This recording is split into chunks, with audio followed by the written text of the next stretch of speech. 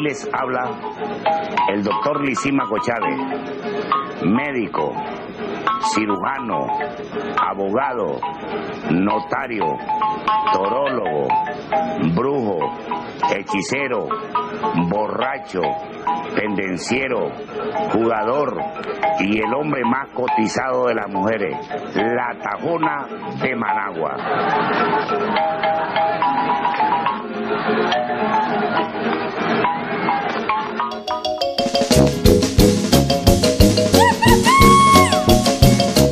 Managua está de fiesta con la bajada de Santo Domingo de Guzmán que se celebra del 1 al 10 de agosto de cada año en nuestra capital y es donde miles de familias se dan cita para celebrar estas fiestas con alegría y devoción.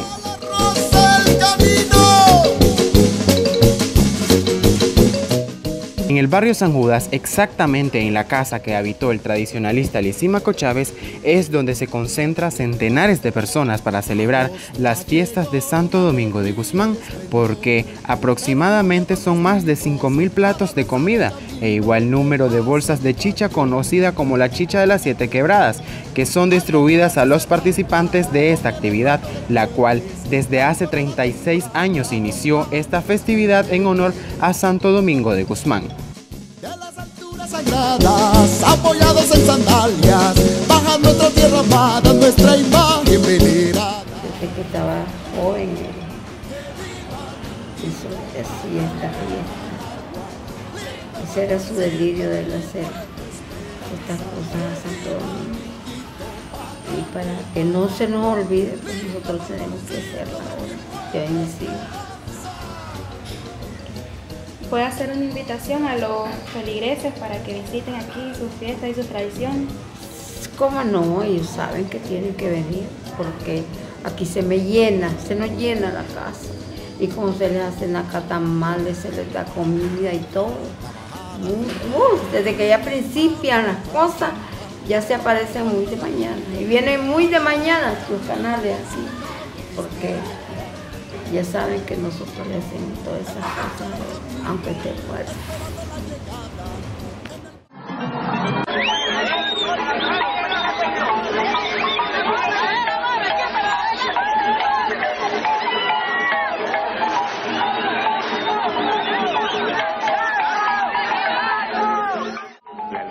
Dice que la serrana murió de la avenida de Santo Domingo a Managua.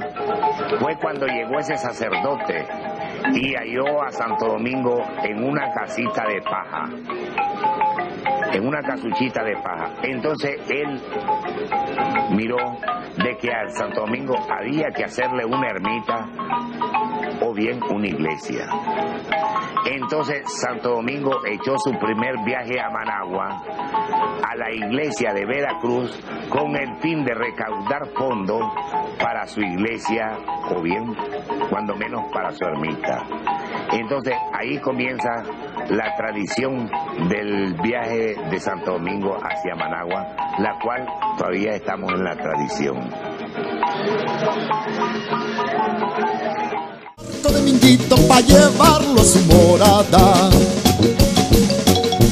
En el mercado oriental, una niña muy coqueta, con la tía en delantal va la mama chilindra.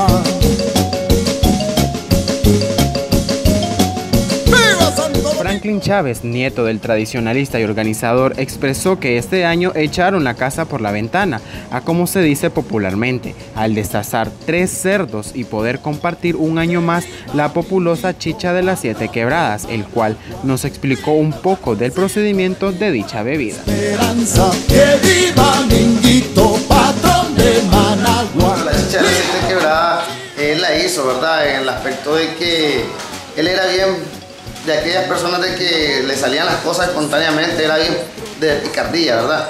Entonces, eh, un día estaba ahí fregando, era que me voy a bañar con la chica, con- para hacer una chicha de las siete quebradas. Y entonces ahí comenzó todo, eh, por decirlo así, la fregadera, pues la picardía del hicimos escuchar. Desde ese entonces para en adelante se ha hecho lo que, es- lo que es la chicha de las siete quebradas. Estamos claros que ahora ya no se baña él, pero nos bañamos nosotros, los dos nietos que tiene, ¿verdad? Somos los que, bañ- los que nos bañamos y, claro, tenemos unos calzoncillos de lisímaco, que eso es el que le dan el punto. a esta, a esta chicha de la ¡Viva Santo Domingo, rey de mi nación! ¡Que viva Minguito,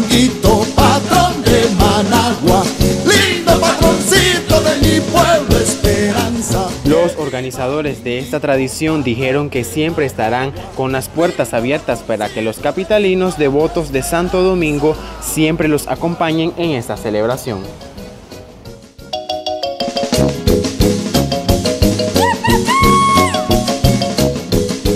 a estas festividades, ¿verdad? Con mucho amor, devoción, tradición, que eso es lo que necesita pues, el pueblo de Managua en estos momentos, que todo, pues digamos, sea con fervor religioso, de tradición, promesa, ¿verdad? Y agradecido, ¿verdad? Con nuestro gobierno que siempre nos está apoyando en lo que es el eje, por decirlo así, de estas fiestas patronales.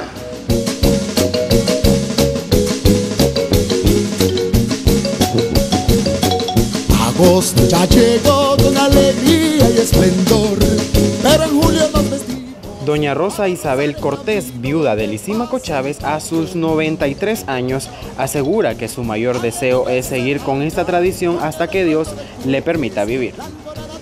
Vivamos estas fiestas de Santo Domingo de Guzmán con responsabilidad y mucha devoción. Con las imágenes y la edición de Peter Barrios, Eddie López Valle, Red de Jóvenes Comunicadores.